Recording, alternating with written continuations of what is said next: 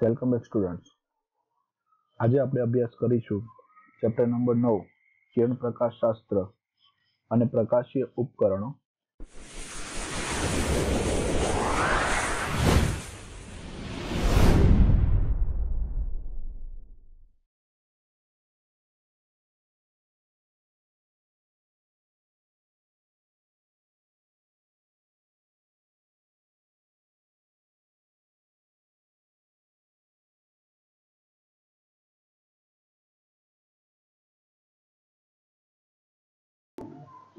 Welcome back students ઉદાહરણ number નવ point ચારનો આજે આપણે અભ્યાસ કરવો છે. ચાલો, ઉદાહરણ નંબર નવ પોઈન્ટ ચારમાં શું કીધું છે આપણને? એમની અંદર વાત એવી કરી છે કે ધારી લો કે તમે કોઈ એક પાર્ક કરેલી કારમાં બેઠા છો. આ કારની અંદર આર બરાબર ટુ મીટર સાઈડ વ્યૂ મિરરની અંદર આર બરાબર ટુ મીટર મતલબ વક્રતા ત્રિજ્યા બે મીટર ધરાવતો હોય એવો સાઈડ ગ્લાસ છે. એની અંદર એક વ્યક્તિ કારને વ્યક્તિને કાર તરફ દોડતી આવતી નિહાળો છો. તમે કારની અંદર બેઠા છો, સાઈડના ગ્લાસની અંદર કોઈ એક વ્યક્તિ, તમને એવું દેખાય છે કે કોઈ એક વ્યક્તિ કાર તરફ દોડતા દોડતા આવે છે. જો વ્યક્તિની ઝડપ એ પાંચ મીટર પર સેકન્ડ હોય, પાંચ મીટર પર સેકન્ડ, એટલે કે એક સેકન્ડમાં પાંચ મીટર અંતર કાપતો હોય, તો જ્યારે તે અરીસાથી ઓગણચાલીસ મીટર ઓગણત્રીસ મીટર, ઓગણીસ મીટર અને નવ મીટર દૂર હોય ત્યારે પ્રતિબિંબ કેટલી ઝડપથી ગતિ કરતું હશે? દાખલો અગત્યનો છે મિત્રો, કારણ કે આપણને ઝડપ માગી છે. આપેલું છે, આપણને વેલ્યુ આપી છે આરની છે ઝડપ આપી દીધી છે વ્યક્તિની અને અલગ અલગ એની સ્થાન આપેલા છે. તો આપણે રકમને સમજૂતી મેળવી લીધી. આપણને જે વેલ્યુ આપી છે, એ વેલ્યુ પ્રમાણે આપણે કામ કરતા જઈશું. પહેલું આપણને જે આર આપેલું છે આર એ આર બરાબર ટુ મીટર છે. વસ્તુનું જે સ્થાન આપ્યું છે યુ બરાબર ઓગણચાલીસ મીટર છે. એટલે આર બરાબર ટુ છે, તો એના પરથી આપણને એફ મળી જશે. આરના જે છે, તમે અડધા કરશો, તો એફ બરાબર એક મીટર થઈ જશે. બરાબર? પછી તમને યુ આપી દીધું છે. યુ બરાબર કેટલા છે? તો કે યુ બરાબર ઓગણચાલીસ મીટર છે. એટલે u is equal to minus ઓગણચાલીસ મીટર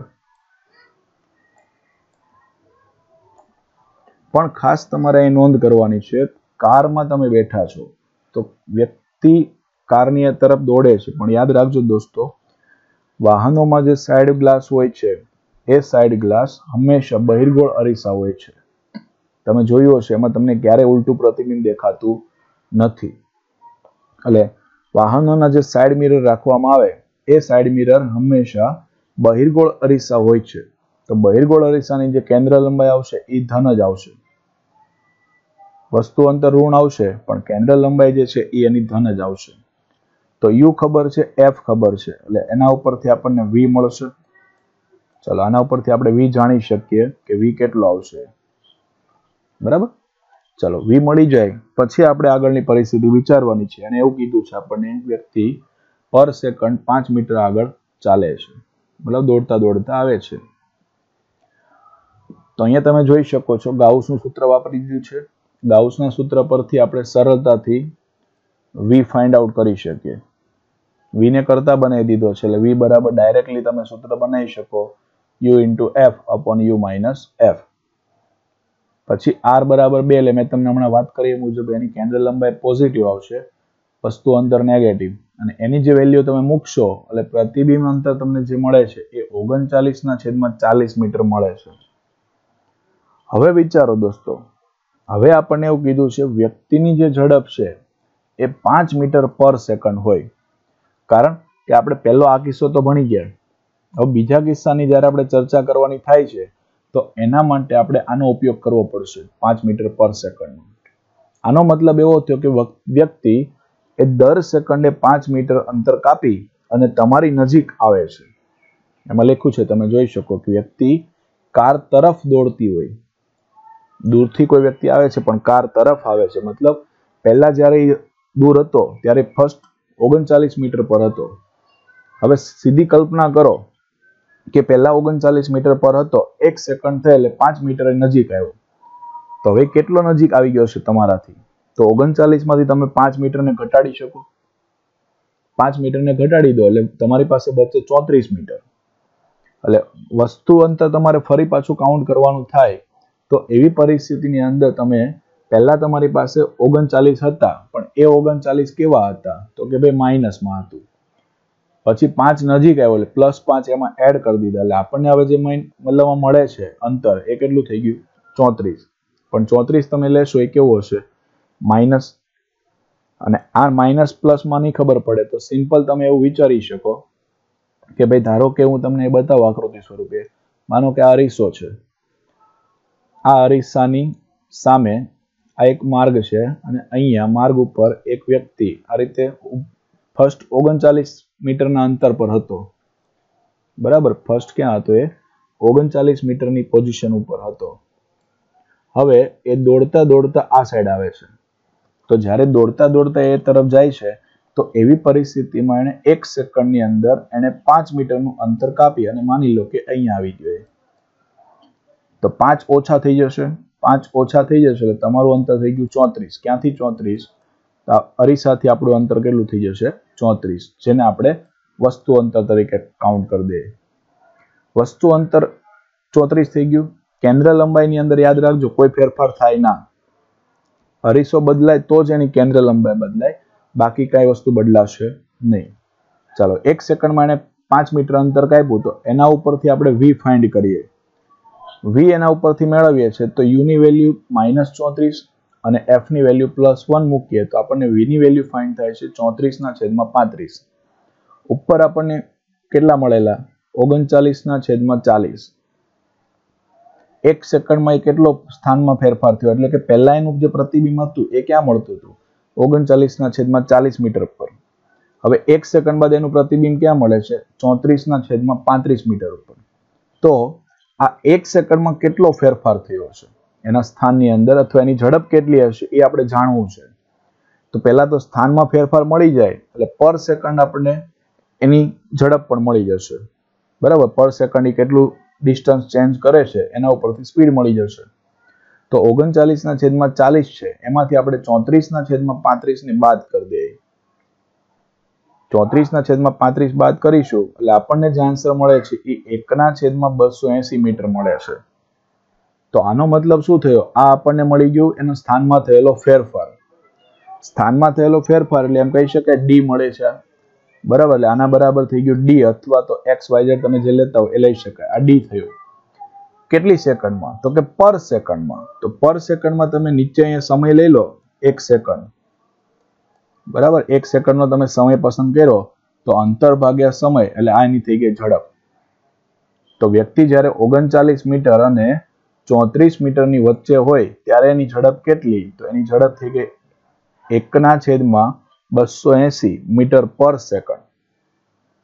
ફરી પાછું ટૂંકમાં સમજાવું છું. પહેલા તમે શું કામ કર્યું? તો પહેલા તમે જ્યારે વ્યક્તિ ઓગણચાલીસ મીટર ઉપર હતો, ત્યારે તમે એનું પ્રતિબિંબ, એનું સ્થાન મેળવી લીધું. હવે એક સેકન્ડમાં એ જ્યારે પાંચ મીટર આગળ આવે છે, તો સ્વાભાવિક છે વ્યક્તિ પાંચ મીટર આગળ આવતો હશે તો એનું પ્રતિબિંબ એ પણ બદલાશે. તો એ કન્ડિશનમાં પ્રતિબિંબ ક્યાં મળે છે? એનું ફરી પાછું આપણે સ્થાન મેળવ્યું. અને બંને વચ્ચેનો ડિફરન્સ મેળવી લીધો. એ ડિફરન્સ એકના છેદમાં બસો એસી આવે છે. એકના છેદમાં બસો એસી છે, પણ એ પર સેકન્ડ છે. એટલા માટે આપણી ઝડપ થઈ જશે. હવે આવું જ કામ તમારે ઓગણત્રીસ મીટર માટે પણ કરવાનું છે. મતલબ કે વ્યક્તિ પહેલા ઓગણત્રીસ મીટર ઉપર છે. ઓગણત્રીસ મીટર ઉપર હોય, ત્યારે એનું પ્રતિબિંબનું સ્થાન ક્યાં મળે છે? એ તમે જાણી લો. પ્રતિબિંબનું સ્થાન મળી જાય, પછી એક સેકન્ડમાં પાંચ મીટર આગળ આવે છે, એટલે ઓગણત્રીસમાંથી પાંચ ઘટાડી દો, એટલે ચોવીસ થઈ જશે. ચોવીસ જે છે એ તમારું ફરી પાછું નવું વસ્તુ અંતર બને, એને અનુરૂપ તમે પ્રતિબિંબ મેળવી લો. અને એ પ્રતિબિંબ અને આગળનું જે પ્રતિબિંબ મળતું હતું, એ બંને અંતર વચ્ચેનો ડિફરન્સ મેળવી લેશો. એટલે ફાઇનલી તમને એક સેકન્ડમાં જે ફેરફાર થાય છે, એ ફેરફાર મળશે. અને પર સેકન્ડ છે, એટલે એ તમારી ઝડપ થઈ જશે. ચાલો જોઈ લઈએ એને પણ. એનો પણ આપણે અભ્યાસ કરી દઈએ. પહેલા જે વ્યક્તિ જે છે, એ કેટલા ઉપર હતો? ઓગણચાલીસ સોરી ઓગણત્રીસ મીટર ઉપર. ત્યારે તમને જે પ્રતિબિંબ મળે છે, એ પ્રતિબિંબ કેટલા ઉપર મળે છે? ઓગણત્રીસ ના છેદમાં ત્રીસ મીટર ઉપર. ઓગણત્રીસ ના છેદમાં ત્રીસ મીટર પર હવે વ્યક્તિ પાંચ મીટર પર સેકન્ડની ઝડપથી નજીક આવ્યો. એટલે આપણે જો અહીંયા જ કામ કર્યું ઓગણત્રીસમાંથી પાંચ ને કાઢવાના છે. ઓગણત્રીસ ને આપણે માઇનસ લીધા છે, વસ્તુ અંતર, પ્લસ પાંચ એડ કરીએ, નજીક આવે છે એટલે. એટલે માઇનસ ચોવીસ મળે છે, જે આપણું વસ્તુ અંતર થઈ જશે. એને અનુરૂપ પ્રતિબિંબ ક્યાં મળે છે? તો કે ચોવીસના છેદમાં પચીસ પર. એ બંને વચ્ચેનો ડિફરન્સ લઈ લો. એ ડિફરન્સ કેટલો આવે છે? તો કે એકના છેદમાં એકસો પચાસ મીટર. આ એકના છેદમાં એકસો પચાસ મીટર છે એ પર સેકન્ડ ડિફરન્સ છે. એક સેકન્ડમાં એના સ્થાનમાં થતો ફેરફાર છે, તો ઝડપ કેટલી થાય? તો કે એકના છેદમાં એકસો પચાસ મીટર પર સેકન્ડ હવે બધી વખતે તમે આવી ગણતરી કરો, એના કરતાં બેટર એવું પણ છે, તમે ડાયરેક્ટલી પણ કામ કરી શકો. ડાયરેક્ટલી કઈ રીતે? તો તમે જોઈ શકો જો અહીંયા. ધારો કે હું તમને એમ કહું કે ઓગણત્રીસ મીટરનું જ્યારે એનું સ્થાન હતું, ત્યારે તમારો આન્સર જે આવે છે, એ ઓગણત્રીસના છેદમાં ત્રીસ છે. આગળ ઓગણચાલીસ હતું, ત્યારે આપણો આન્સર અહીંયા આવતો હતો, ઓગણચાલીસના છેદમાં ચાલીસ. ઓગણત્રીસ થયા, તો આન્સર થઈ ગયો ઓગણત્રીસના છેદમાં ત્રીસ. પછી, જ્યારે તમારું અંતર થઈ ગયું ચોવીસ ચોવીસ હતું, તો ચોવીસ માટે તમારો આન્સર શું આવ્યો? ચોવીસના છેદમાં પચીસ. સિમ્પલ લોજિક છે, જો. જે તમારો આન્સર છે ચોવીસ, એના કરતા એક વધારે રાખી તમે નીચે લઈ શકો, ચોવીસ અપન પચીસ. પહેલા ઓગણત્રીસ હતું, તો ઓગણત્રીસ ના છેદમાં આવી ગયું ત્રીસ. ડાયરેક્ટ તમને ખબર પડશે પછી તમે શું કરો? સિમ્પલી બેની બાદ બાકી કરી દો. ચાલો, હવે જાત્યાનું વિચારી શકીએ આપણે. સપોઝ કે ઓગણ, ઓગણીસ છે. તો ઓગણીસ માટે પ્રથમ કિસ્સામાં એનો યુ કેટલો થશે? તો પ્રથમ કિસ્સામાં એનો યુ થઈ જશે માઇનસ ઓગણીસના છેદમાં વીસ મીટર. બરાબર? ઓગણીસના છેદમાં વીસ મીટર થાય. પછી પાંચ મીટર નજીક આવ્યો હશે. પાંચ મીટર નજીક આવે એટલે ચૌદ આવે. ચૌદ આવે સોરી અહીંયા ઉપર વી હશે, આપણું આ વી ચૌદ થાય તો એના માટે આપણને વિડેશ શું મળશે? તો વિડેશ મળશે આપણને માઇનસ ચૌદના છેદમાં. સોરી માઇનસ માઇનસ બંને નીચે, ઉપર નીચે માઇનસ માઇનસ પ્લસ થઈ જશે. અહીંયા પણ માઇનસ છે ઉપર પણ, એટલે બંને પ્લસમાં જ આન્સર આવશે. એટલે પ્લસ ઓગણીસના છેદમાં વીસ પ્લસ ચૌદના છેદમાં પંદર. હવે આ બંનેની બાદબાકી કરી દો. આ બેની બાદબાકી કરશો તમારો જે આન્સર આવે પર સેકન્ડ છે. એટલે તમને એની ઝડપ મળી જશે. એ જ રીતે નવ માટે વિચારી દો. તો નવ માટે તમારો પ્રથમ આન્સર કેટલો આવશે? તો કે નવના છેદમાં દસ. પછી વિડેશ કેટલું? આ તમારું વી થયું. વિડેશ કેટલું થશે? તો વિડેશ થઈ જશે. સિમ્પલ નવ મીટર હતો, ત્યાંથી પાંચ મીટર દોડીને નજીક આવે. તો ચાર બચે. તો ચારના છેદમાં પાંચ. આ બેની બાદબાકી કરી નાખો. એ તમારો આન્સર થઈ જશે.